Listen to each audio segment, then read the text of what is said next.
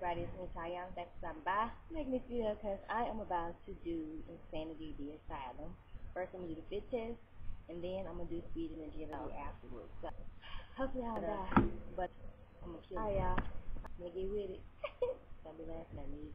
All right, y'all. Y'all take care.